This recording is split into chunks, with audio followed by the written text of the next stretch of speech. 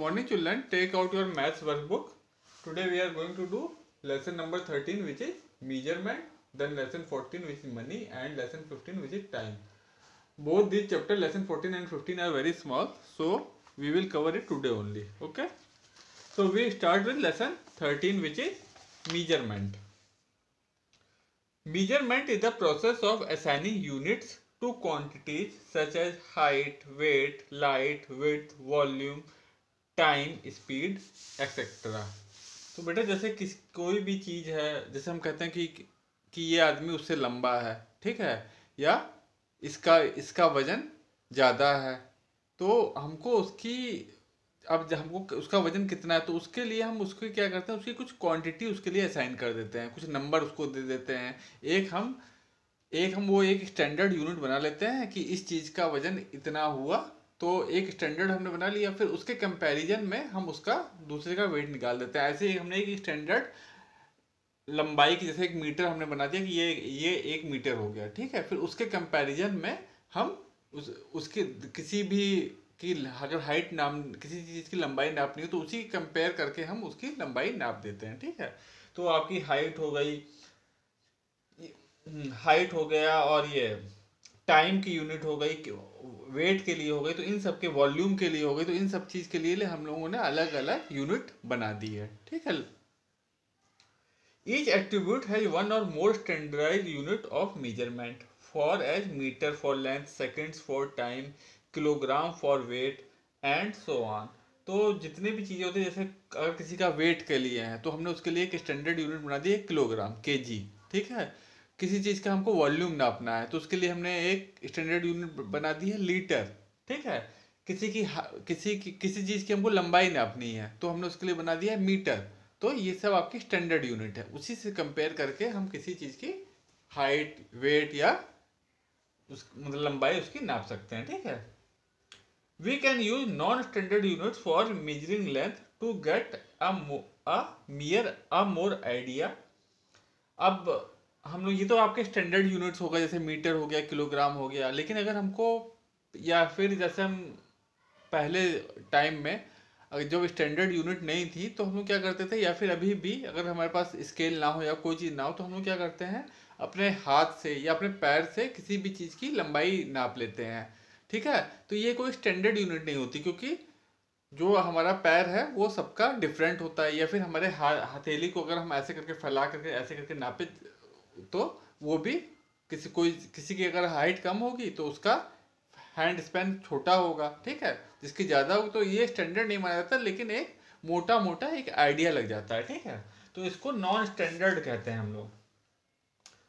जैसे ये किसी चीज़ को हमको सपोज़ कीजिए आपको टेबल नापना है तो आपके पास स्केल नहीं है तो आपने क्या किया? आपने हाथ को ऐसे करके वन टू थ्री कितने में आ रहा है, ऐसे करके नाप लिया, ठीक है? या फिर अपने किसी चीज़ कोई बाउंड्री वॉल है, आपको उसकी लंबाई नापनी है, और आपके पास कोई भी स्केल है नहीं, उसके लिए मीटर स्केल है नहीं तो आप क्या करेंगे? आप अपने कदम चल करके कि हमने इतने स्टेप्स हम चले, और इतना उसकी इतने स्टेप्स में ये ख़त्म हो गया। तो उससे एक रफ आइडिया आप ले सकते हैं, ठीक है? तो लेकिन ये स्टैंडर्ड नहीं माने जाते हैं ओके तो एक आपके ये नॉन स्टैंडर्ड जैसे एक हैंड स्पैन हो गया, ठीक है? फिंगर्स किसी चीज़ को काउंट करना तो आप फिंगर पे काउंट कर लेते हैं। ठीक है? क्यूबिड है ये। फिर ये आपका फुट स्पैन है कि अपने पैर रख रख करके हमने किसी चीज़ की कि कितने हमारे स्टेप्स में ये कवर हो रहा है। ठीक है? Firstly we firstly we learn measuring length the unit of length is metre तो सबसे पहले हम लोग बात करेंगे किसकी? लेंथ की। लेंथ किसी चीज़ की लंबाई। ठीक है? किसी चीज़ का डिस्टेंस आपको नापना हो किसी चीज़ की लंबाई नापनी हो तो उसके लिए हम लोग क्या यूज़ करते हैं? डिस्टेंस वगैरह नापने के लिए उसकी जो स्टैंडर्ड यूनिट होती है, उसको वो है आपकी मीटर ठीक है?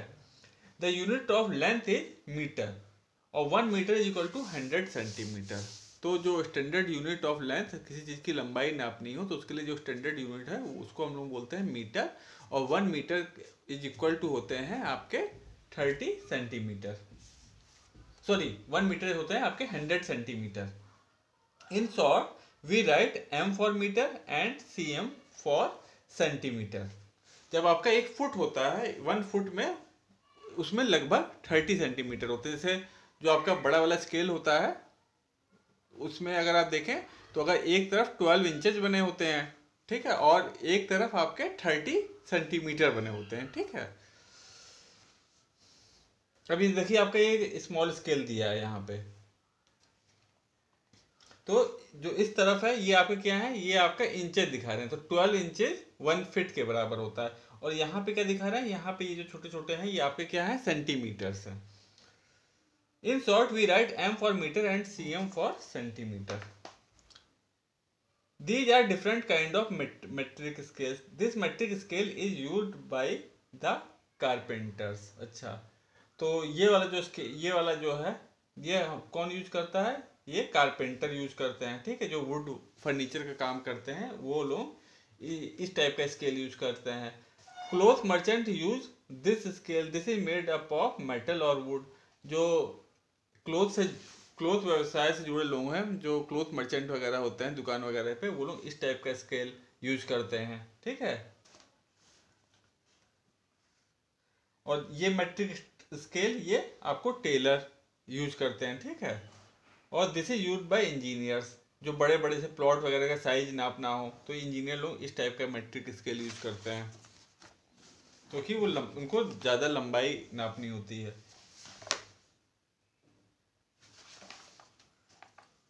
अब हम आगे एक्सरसाइज पे। टिक द करेक्ट ऑप्शन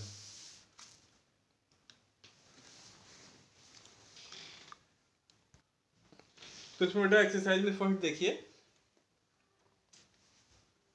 आपको उसमें करेक्ट ऑप्शन पे टिक करना है। Your new pencil length is more than जो आप एक नई पेंसिल यूज़ करते हैं न्यू पेंसिल उसकी लेंथ किससे ज़्यादा होती है? Twenty centimetre thirty centimetre fifteen centimetre या टेन सेंटीमीटर तो इसको आपने न्यू पेंसिल जब आप यूज़ कीजिएगा तो उसकी लेंथ आप नापिएगा। ठीक है?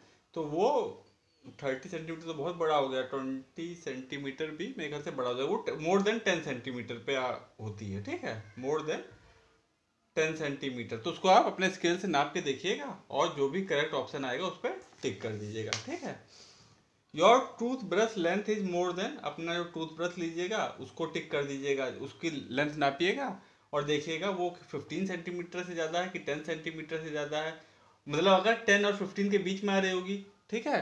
तो आप टेन पे टिक लगा देंगे फिफ्टीन और ट्वेंटी के बीच में आ रही होगी तो फिफ्टीन पे टिक लगा देंगे। ट्वेंटी, थर्टी के बीच में आ रही होगी तो ट्वेंटी पे टिक लगा लीजिएगा। तो उसको भी आप नाप के अपने टूथ ब्रश को लेकर के उसको भी स्केल से मीजर कीजिएगा कि कितने सेंटीमीटर आ रही है। ठीक है? जो स्केल में जो छोटा छोटा दिया होता है, एक तरफ़ तो इंचेस दिए होते हैं, वो वो आपके जो स्मॉल स्केल होता है, उसमें वो सिक्स होते हैं। ठीक है?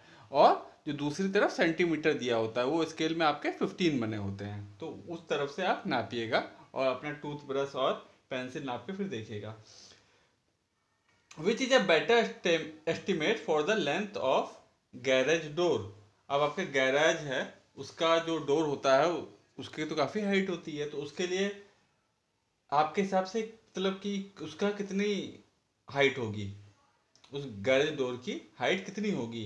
टू सेंटीमीटर या टू मीटर अब टू सेंटीमीटर कितना हो गया जो आपके स्केल से मतलब टू सेंटीमीटर समझिए इतना बड़ा हो गया। आपके स्केल से जब आप नापेंगे, एकदम छोटा सा हो गया। ठीक है, जितनी बड़ी आपकी समझिए रबड़ रबड़ इरेजर होता है, उतना बड़ा हो गया टू सेंटीमीटर तो वो तो बहुत छोटा हो गया गैरेज डोर नापने के लिए। यानी कि जो बेटर एस्टिमेट किया होगा, उसका टू मीटर लगभग होगा। ठीक है?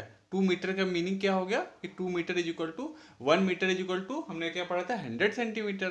तो टू मीटर कितना हो गया? Two metre is equal to two hundred centimetre. ठीक है? तो गैरेज डोर का एस्टिमेट क्या हो जाएगा? लगभग टू मीटर फिर आपका क्वेश्चन फिफ्थ है which is a better estimate for the length of a cell phone तो जो आप फ़ोन यूज़ करते हैं सेल फ़ोन मोबाइल उसका क्या बेटर एस्टिमेट है? टेन मीटर्स या टेन सेंटीमीटर्स तो टेन मीटर तो बहुत हो गया। टेन मीटर का मतलब आपका टेन मीटर का मतलब क्या हो गया? हंड्रेड इंटू टेन सेंटीमीटर यानी कि one thousand centimetre one thousand centimetre तो बहुत बड़ा हो गया।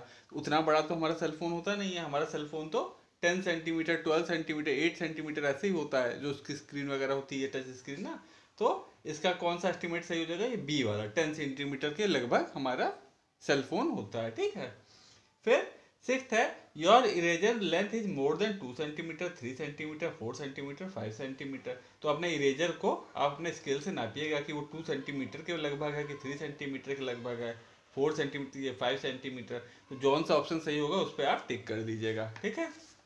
फिर सेवेंथ है your new crane length is more than six eight ten nine तो जो आप नया क्रेन लेकर के आते हैं वैक्स कलर तो उसकी लेंथ कितनी होती है? तो मेरे ख्याल से वो सिक्स सेंटीमीटर के ऊपर होती होगी ना सिक्स सेंटीमीटर आएगा। तो उसको आप आप, उसको भी आप अपने स्केल से मीजर कीजिएगा, ठीक है?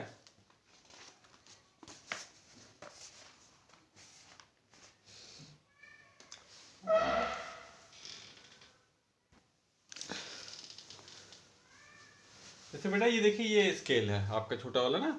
तो इसको आप, जैसे आपको अभी पेंसिल नापनी तो आप कैसे करेंगे? अपने पेंसिल को ऐसे करके ऐसे स्केल लगाइएगा।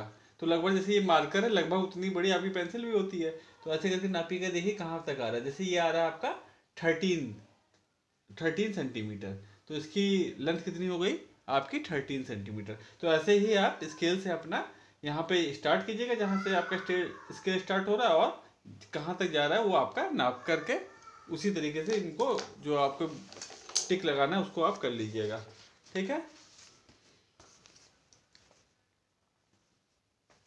अब यहाँ पे आपकी जो नेक्स्ट एक्सरसाइज है, वो है कन्वर्ट मीटर इनटू सेंटीमीटर आपको मीटर को सेंटीमीटर में कन्वर्ट करना है तो आप कैसे करेंगे? जैसे टू मीटर दिया हुआ है तो जो ये आपका क्वेश्चन नंबर एट का ए है। एट्थ का लेसन थर्टीन एट्थ का ए कैसे करेंगे आप? फ़र्स्ट है आपका टू मीटर तो टू मीटर इज़ टू कितना सेंटीमीटर हो जाएगा? तो आपको मालूम है वन मीटर कितना होता है? Is equal to hundred centimetre ठीक है? तो टू मीटर कितना हो जाएगा? Two into hundred is equal to two hundred centimetre ठीक है? फिर ऐसे नेक्स्ट है आपका नेक्स्ट है आपका नाइन मीटर फिर फाइव मीटर एट मीटर ऐसे कर लीजिएगा। इसमें एच वाला है ट्वेल्व मीटर या फिर जी जी देखिए जी है आपका इलेवन मीटर जी है इसमें इलेवन मीटर तो आपको मालूम है वन मीटर कितना होता है? इक्वल टू हंड्रेड सेंटीमीटर होता है. ठीक है? तो इलेवन मीटर कितना हो जाएगा? इलेवन मीटर हो जाएगा आपका इलेवन इंटू हंड्रेड ठीक है? तो कितना हो गया? Equal to eleven into hundred यानी कि eleven hundred one thousand one hundred centimetre okay फिर इसमें आपका एच जो लास्ट वाला है, वो क्या है? ट्वेल्व मीटर तो ट्वेल्व मीटर कितना सेंटीमीटर होता है? तो आपको फिर मालूम है one metre is equal to कितना होता है? हंड्रेड इज़ इक्वल टू कितना होता है? हंड्रेड सेंटीमीटर तो ट्वेल्व मीटर कितना हो जाएगा? Twelve metre 12 meter will be equal to 12 into 100 is equal to 1200 centimetre तो कितना हो जाएगा 1200 सेंटीमीटर ठीक है? तो ऐसे आप सारे कीजिएगा ये वाले क्वेश्चन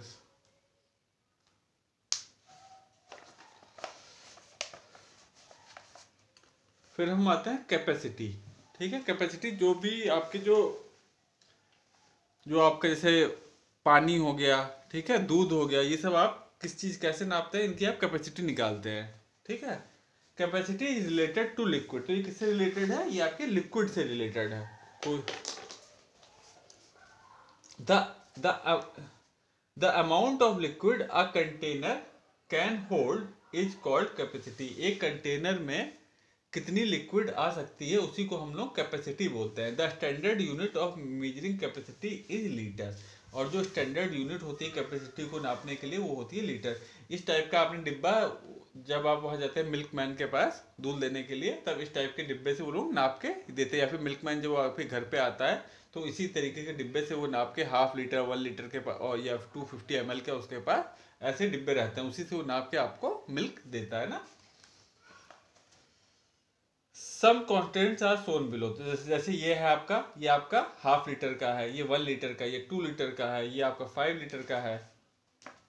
अब जो वन लीटर होता है वन लीटर इक्वल टू होता है वन थाउज़ेंड मिलीलीटर ठीक है? वन लीटर आपका किस, किसके बराबर होता है? वन थाउज़ेंड मिलीलीटर का। In short one L is equal to one thousand M L okay अब हम आते हैं एक्सरसाइज पे। Right the number one two and three two in order the object that is model capacity to greater capacity इसमें आपके three object बने हुए हैं। तो इसमें आपको वन टू थ्री नंबरिंग करना है जिसमें सबसे कम जिसकी सबसे सबसे कम कैपेसिटी हो उसको आप नंबर वन देना है। उसके बाद जो सेकंड नंबर पे है जो सब बीच में जिसकी कैपेसिटी उसको नंबर टू और जिसकी सबसे ज़्यादा कैपेसिटी हो उसको नंबर थ्री तो इसमें आप देख रहे हैं ये सबसे स्पून जो है सबसे छोटा है इसमें इसकी कैपेसिटी सबसे कम है इसमें अगर आप पानी डालेंगे या, या कोई भी चीज़ डालेंगे तो बहुत ज़रा सा आएगा। तो इसको नंबर वन कर दीजिए। फिर ये ग्लास है, इसको नंबर टू कर दीजिएगा। फिर ये जग टाइप का जो है, ये पैन आपका, इसको नंबर थ्री कर दीजिएगा। इसमें सबसे ज़्यादा पानी या मिल्क कोई भी चीज़ आप रखेंगे तो आ जाएगा। तो इसकी कैपेसिटी सबसे ज़्यादा हो गई, इसकी मिडिल की हो गई और इसकी सबसे कम हो गई। तो वन टू थ्री ऐसे आप डाल देंगे। अब आ गया मेजरिंग मास तो अभी तक हम लोगों ने किस किस का किया लेंथ के लिए देख लिया, ठीक है? फिर कैपेसिटी देख ली किसी चीज़ का वॉल्यूम निकालने के लिए, वो हमने देख लिया। अब हम आएँगे किसी चीज़ का वेट ठीक है? Measuring mass measuring weight weight is related to the object on balance we measure the mass और weight of an object on a balance there are different types of balance the standard unit of measuring weight is of mass is kilogram तो जो standard unit होती है इसकी, किसी चीज़ का wait नापने के लिए वो किलोग्राम होती है। तो उसका एक, हमारे पास एक स्टैंडर्ड वेट टाइप का एक होता है। उसको हम लोग बैलेंस पे रखते हैं। एक तरफ़ उसको रखते हैं और दूसरी तरफ़ सपोज़ कीजिए आपको कोई सामान लेना है, ठीक है?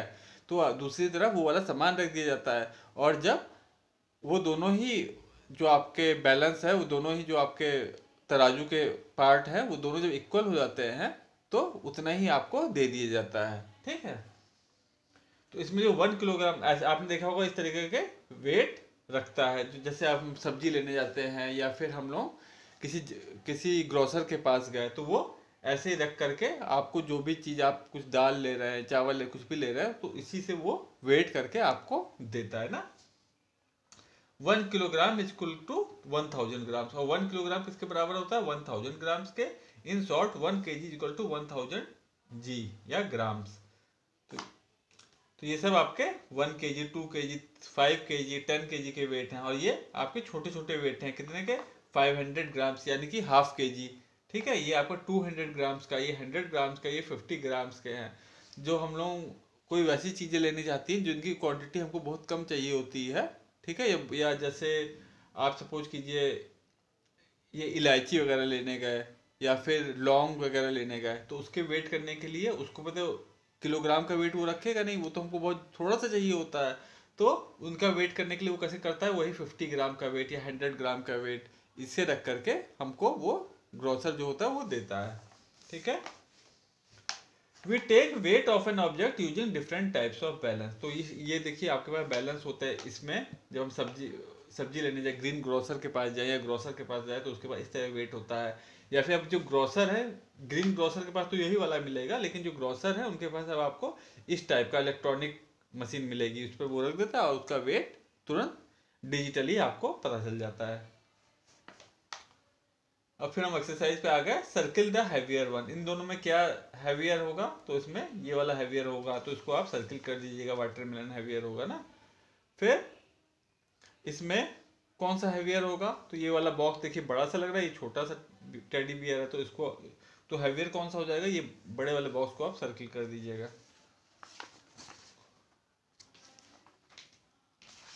तो बेटा, यही आपका छोटा सा चैप्टर था ये तो इसमें आपने क्या देखा? कि किसी चीज़ की अगर लेंथ नापनी हो तो उसकी स्टैंडर्ड यूनिट होती है मीटर वन मीटर आपका हंड्रेड सेंटीमीटर के बराबर होता है, ठीक है? और किसी की, किसी का वॉल्यूम नापना हो तो उसकी कैपेसिटी नापनी हो तो वो हम किसमें नापते हैं? लीटर में. One litre is equal to होता है आपका वन थाउज़ेंड मिलीलीटर और किसी की आपको, किसी का आपको वेट नापना हो तो उसकी स्टैंडर्ड यूनिट क्या होती है? किलोग्राम और वन किलोग्राम इक्वल टू होता है वन थाउज़ेंड ग्राम्स के. ठीक है?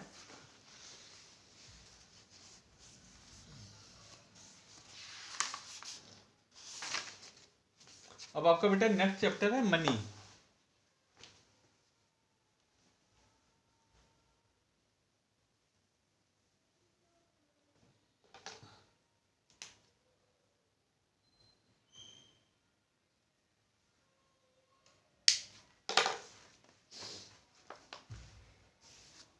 when you want to purchase something, you need money.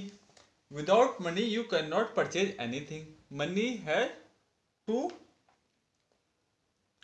various forms. अच्छा। तो जब हमें कोई चीज़ परचेज करना होता है, कभी भी हम मार्केट जाते हैं तो हम लोग अपने साथ में थोड़ा सा पैसा लेके जाते हैं। ठीक है? मनी लेके जाते हैं। तभी हम लोग कोई सामान खरीद सकते हैं। बिना पैसे के कोई भी सामान हम लोग नहीं खरीद सकते। और मनी जो है, जो हमें पैसा, वो भी दो फॉर्म में आता है। ये तो कॉइन्स होते हैं ठीक है, सिक्के या फिर नोट्स होते हैं, ठीक है? Currency notes some commonly use coins are तो ये देखिए कुछ कॉमनली यूज़ कॉइन्स देखिए इस तरीके से ये आपका एक रुपए का सिक्का, ये दो रुपए का सिक्का, ये फाइव रुपीज़ का कॉइन है, ठीक है? ये टेन रुपीज़ का कॉइन है। और ये आपके करेंसी नोट्स हैं, जैसे ये फाइव का है टेन का है ट्वेंटी का है, ठीक है? ये फिफ्टी रुपीज़ का नोट है, ये हंड्रेड रुपीज़ का है, ये फाइव हंड्रेड रुपीज़ का नोट है जो बैन हो गया। ठीक है? पहले जो चलता था। ये थाउज़ेंड रुपीज़ का ये भी बैन हो गया। वन थाउज़ेंड की जगह टू थाउज़ेंड का नोट आ गया ना।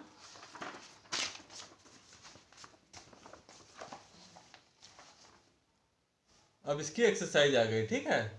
Tick the correct option how much is the is this coin worth मतलब इस कॉइन के जो यहाँ पे कॉइन रखा है, इसकी कितनी वर्थ है? ये कितनी इसकी वैल्यू है? तो इस कॉइन पे कितना लिखा है? वन लिखा है। यानी कि ये रुपीज़ वन कोई सामान आप अगर एक रुपए का होगा तो आप उसको एक रुपए का सिक्का दे देंगे तो वो सामान वो आपको, जो भी ग्रोसर होगा, वो आपको दे देगा। तो इसका मैं पूछ रहा है how much is this coin worth इस कॉइन के कितना वर्थ है? यानी इस कॉइन की कितनी वैल्यू है? तो आप क्या लिख देंगे? रुपीज़ वन ये आपका रुपी का साइन होता है ना? तो रुपी वन तो यहाँ ए पे आप टिक लगा देंगे। विच कॉइन इज़ दिस ये कौन सा कॉइन है? तो इसमें देखिए टू लिखा हुआ है तो ये रुपीज़ टू पे आप टिक लगा देंगे। फिर विच कॉइन इज़ दिस ये कितने का कॉइन है? तो ये रुपीज़ फाइव का कॉइन है तो आप फाइव पे टिक लगा देंगे सी फिर डी है how much is this note worth अब ये नोट है, इसका कितनी वर्थ है? मतलब इसकी कितनी वैल्यू है? तो ये टेन रुपीज़ का नोट है, यानी कि इसकी कितनी वैल्यू है? इसकी रुपीज़ टेन इसकी वर्थ है ना? तो ये रुपीज़ टेन पे आप यहाँ पे टिक लगा देंगे। तो ये वाले में रुपीज़ टेन पे। फिर ई e है how much is this note worth ये आपका फिफ्टी रुपीज़ का नोट है। तो यहाँ आप फिफ्टी रुपीज़ पे टिक लगा देंगे सी ऑप्शन पे।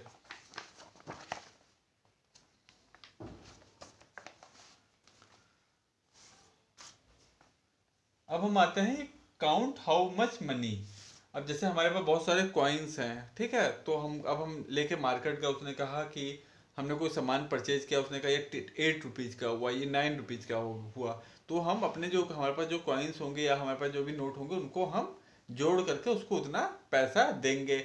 या फिर अगर हमने, हमारे पास चेंज नहीं होगा तो हम एक बड़ा सा नोट दे देंगे, उसको सपोज़ कि ट्वेंटी रुपीज़ का दे दिया और हमने सामान खरीदा टेन रुपीज़ का तो वो जो आपका ग्रोसर होगा, वो फिर आपको ट्वेंटी माइनस टेन का हमने सामान खरीदा तो twenty minus ten is equal to ten तो टेन रुपीज़ वो वापस चेंज करेगा, ठीक है?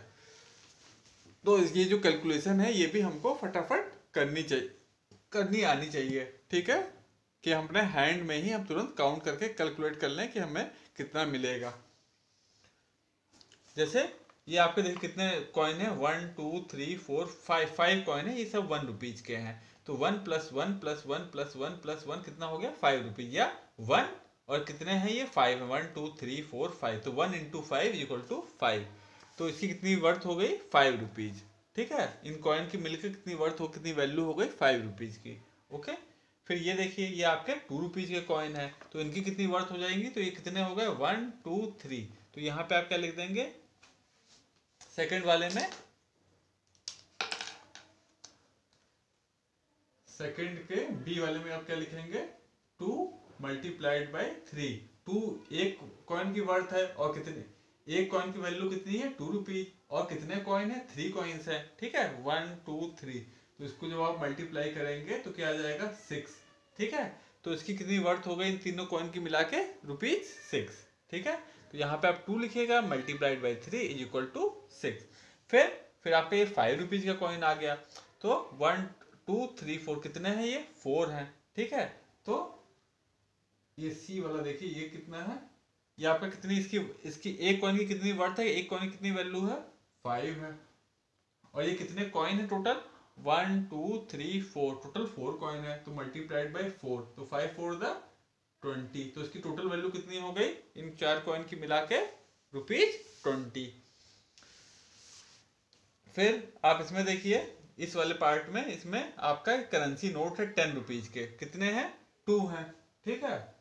तो ये डी वाला है आपका. इसमें नंबर बेटर नहीं दिया, है, लेकिन हम ये नंबरिंग उसी हिसाब से कर दे रहे हैं. ठीक है? तो ये ये वाला जो है तो ये एक रुपीज़ कितने की है? एक रुपये की कितनी वैल्यू है? टेन रुपीज़ और कितने नोट्स हैं टोटल टेन रुपीज़ के टू इजिकल टू कितना हो जाएगा? टोटल इसकी वैल्यू कितनी हो जाएगी? टोटल वर्थ रुपीज़ ट्वेंटी अब नीचे में देखिए, आपके कितने करेंसी नोट हैं? One two three four four currency note है और सबकी वर्थ कितनी है? ट्वेंटी तो ट्वेंटी और कितने करेंसी नोट है? फोर तो इसकी टोटल वर्थ कितनी हो गई? ट्वेंटी फोर द एट्टी ठीक है टू फोर द एट और एक ये ज़ीरो आप ऐड कर देंगे तो कितना हो जाएगा? एट्टी रुपीज़ एट्टी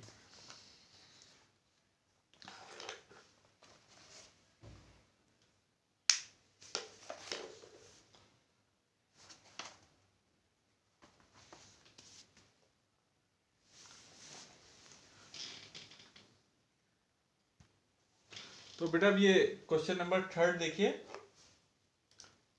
थर्ड है add money and write in given box ठीक है? तो थर्ड का, इसमें भी नंबरिंग नहीं दिया तो हम फ़र्स्ट वाले को ए कर लेते हैं, ठीक है? थर्ड का ए तो इसमें देखिए, अब देखिए, ये जो कॉइन है, ये अलग अलग डिनोमिनेटर के है मतलब इसकी वर्थ वन रुपीज़ है, इसकी वर्थ वन रुपीज़ है, इसकी वर्थ टू रुपीज़ है, इसकी वर्थ फाइव रुपीज़ है, यानी कि अलग अलग डिनोमिनेशन के हैं। तो आप, जैसे इसमें तो सब एक उसके थे तो आपने, जैसे यहाँ पे आपने क्या किया? वन रुपीज़ के थे और ये फाइव थे तो वन इंटू फाइव कर दिया। तो यहाँ पे आप वो कर नहीं सकते, यहाँ पे आपको ऐड करना पड़े तो आप कैसे ऐड करेंगे? तो one plus one plus two plus five तो ये कितना हो गया? Five plus two seven seven plus one eight plus one nine is equal to rupees nine इसकी टोटल वर्थ कितनी हो गई? रुपीज़ नाइन ठीक है? तो ऐसे इन सबको जितने भी रुपीज़ है, आप काउंट करके यहाँ पे लिख दीजिएँगे। ऐसे इसको भी कर लीजिएगा। ठीक है? ऐसे ही करेंसी नोट है, इनको भी आप काउंट कर लीजिएगा। ये लास्ट वाला देखिए हम कर रहे हैं। A B C D E F वाला इसको हम मान लेते हैं एफ़ वाला, एकदम जो लास्ट वाला है। उसमें देखिए क्या है? ये आपका ये आपका टेन रुपीज़ टेन रुपीज़ फिर ट्वेंटी रुपीज़ फिर फाइव रुपीज़ कितना है? फ़र्स्ट फ़र्स्ट नोट की वर्थ है टेन रुपीज़ सेकेंड नोट की वर्थ कितनी है? उसकी भी टेन रुपीज़ है। प्लस टेन और फिर कितनी है? प्लस रुपीज़ ट्वेंटी वर्थ है उसकी। फिर जो लास्ट वाला नोट है, उसकी कितनी वर्थ है? फाइव रुपीज़ ठीक है? तो आप जब इनको ऐड करेंगे ten plus ten twenty twenty plus twenty forty forty plus five forty five तो ये कितना हो जाएगा? फोर्टी फाइव ठीक है? तो इसको आप ऐसे आ करके टेन इसके नीचे टेन फिर नीचे ट्वेंटी फिर नीचे फाइव इस तरीके करके आप ऐड कर लीजिएगा। तो यहाँ पे आ गया आपका फाइव और फिर यहाँ कितना आ जाएगा? One plus one two two plus two four four plus zero, four. तो ये आपका फोर्टी फाइव यहाँ पे आंसर हो जाएगा। ठीक है? फिर जो बाकी जो बचे हैं, सेकेंड, थर्ड, फोर्थ, फिफ्थ, या अपने से इसे कीजिएगा।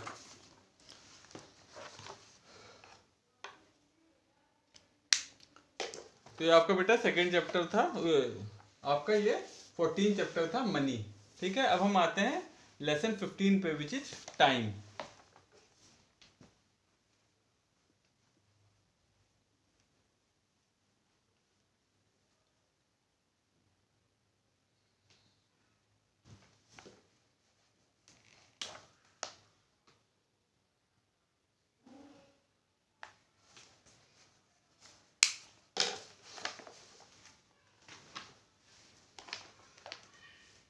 Time is very important for us. We see the watch for time. Normally watch has two hands. ठीक है? तो बेटा जो टाइम है वो बहुत ही इंपॉर्टेंट होता है। क्यों इंपॉर्टेंट होता है? क्योंकि हमको समय से उठना चाहिए टाइम से उठना चाहिए टाइम पे स्कूल जाना चाहिए। ठीक है? हमको पंक्चुअल होना चाहिए ना? तो इसलिए हमें हमेशा ही टाइम दे, देखते देखने की ज़रूरत पड़ती है। तो जो नॉर्मल हमारे घर में क्लॉक होती है या फिर जो घड़ियाँ होती हैं जैसे बच्चों के लिए तो अब डिजिटल वॉच आ गई उसमें नंबर लिख के आ जाते हैं। लेकिन जो घड़ी पहले पहनते थे या अभी भी जो बड़े लोग पहनते हैं या फिर जो हमारे घर में दीवार पे जो टंगी होती है, वो इस तरीके की आपकी क्लॉक होती है ना। उसमें टू हैंड होते हैं, एक शॉर्ट हैंड एक long hand the short hand is the hour hand जो छोटा वाला हैंड होता है घड़ी में, जैसे इसमें ये जो नाइन की तरफ़ जा रहा है, ये छोटा वाला हैंड है ना। घड़ी के आपके दो हैंड होते हैं, एक आवर हैंड होता है, एक मिनट हैंड होता है। तो जो आवर हैंड होता है वो छोटा होता है और जो मिनट हैंड होता है वो लंबा होता है, ठीक है?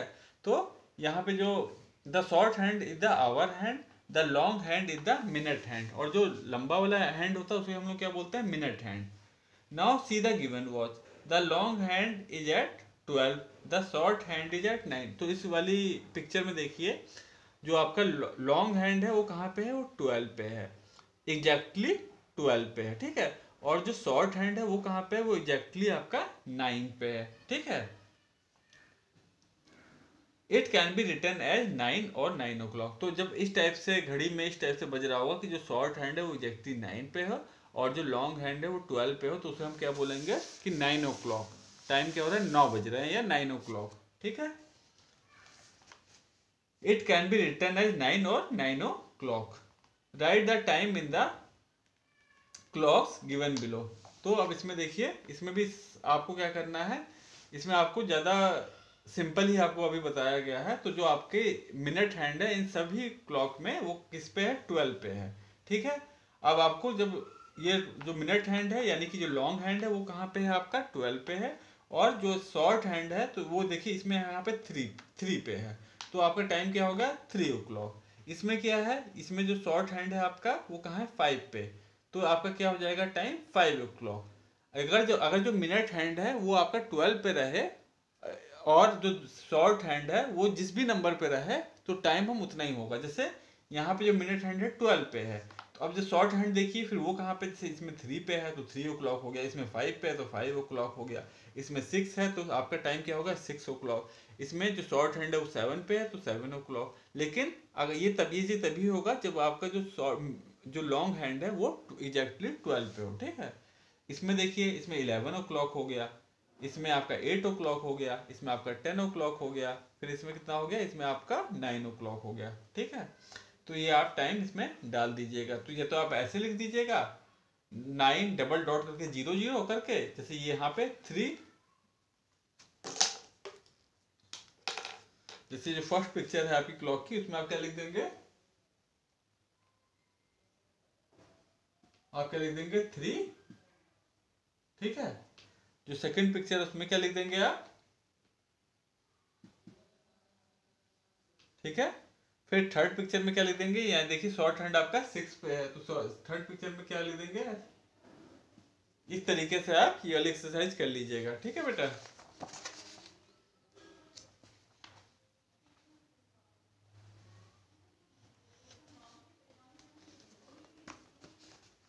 अब हम, आप नेक्स्ट पेज पे आइए तो इसमें हमको क्या करना है? Draw hands of clock for given time तो इसमें भी हमें एग्जैक्ट टाइम दिया है कि four o'clock four o'clock three o'clock one o'clock तो इसमें हमको क्या करना है? हमको लॉन्ग जो हैंड है, क्योंकि एग्जैक्ट टाइम है four o'clock five o'clock six o'clock इस तरीके से है तो हमको जो भी लॉन्ग हैंड हम बनाएँगे, वो हमको ट्वेल्व की तरफ़ बनाना पड़ेगा। जैसे सपोज़ कीजिए, हम ये वाला फ़र्स्ट वाली फिगर आपकी लेके चलते हैं, ठीक है? तो फ़र्स्ट वाली फिगर में आपके क्या है? एक आपका ऐसे करके क्लॉक बना हुआ है, ठीक है?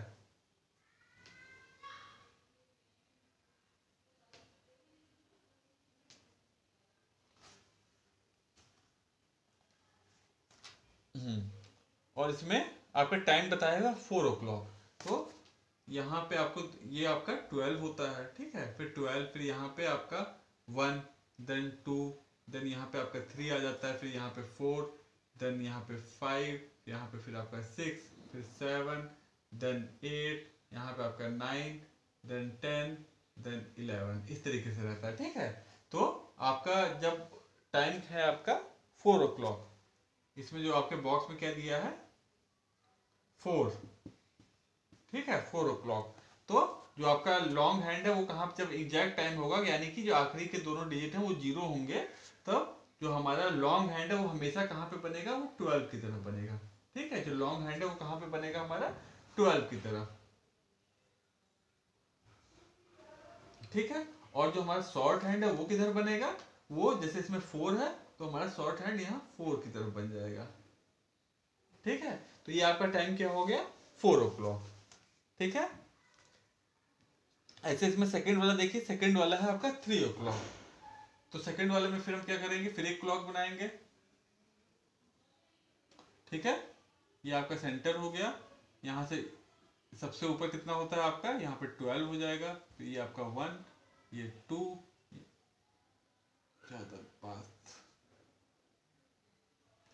ये आपका वन हो गया बेटा, ये टू हो गया, यहाँ पे आपका थ्री हो गया, ये फोर ये फाइव यहाँ पे आपका सिक्स सेवन एट यहाँ नाइन टेन इलेवन ठीक है, इस तरीके से हो गया। अब आपका टाइम क्या बताया है आपको? टाइम आपका बताया है थ्री ओ क्लॉक ठीक है? अब देखिए, आखिरी के दोनों जो डिजिट है, वो ज़ीरो ज़ीरो है। तो आपका जो लॉन्ग हैंड है, वो कहाँ पे जाएगा? वो ट्वेल्व की तरफ़ जाएगा। ठीक है? और शॉर्ट हैंड कहाँ जाएगा? वो थ्री की तरफ़ जाएगा। ठीक है? तो ये टाइमिंग क्या हो गया? थ्री ओ क्लॉक तो ऐसे ही ये दोनों भी आप लोग कर लीजिएगा।